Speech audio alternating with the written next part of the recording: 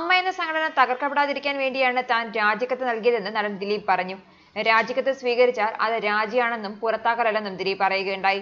തന്റെ പേര് പറഞ്ഞ് സംഘടനയെ തകർക്കാനാണ് ശ്രമങ്ങൾ നടക്കുന്നത്. വിവാദങ്ങൾ അവസാനിപ്പിക്കാനാണ് താൻ രാജിവെച്ചതെന്നും ദിലീപ് പറയുകയുണ്ടായി.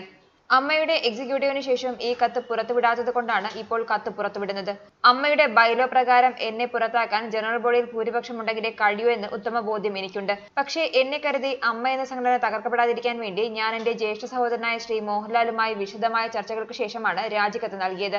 രാജിക്കത്ത് സ്വീകരിച്ചാൽ അത് രാജിയാണ് പുറത്താക്കലല്ല എന്നും ദിലീപ് പറഞ്ഞു. ഉപജാപക്കാരുടെ ശ്രമങ്ങളിൽ അമ്മാ സംഘടന തകരരുത്.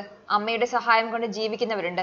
ഇവർക്കായി സംഘടന നിലനിർത്തണമെന്നും ദിലീപ് പറഞ്ഞു. വേട്ടയാടപ്പെടുന്നത് മനസ്സറിയാത്ത കുറ്റത്തിനാണെന്നും ദിലീപ് രാജിക്കത്തിൽ പറയുന്നു.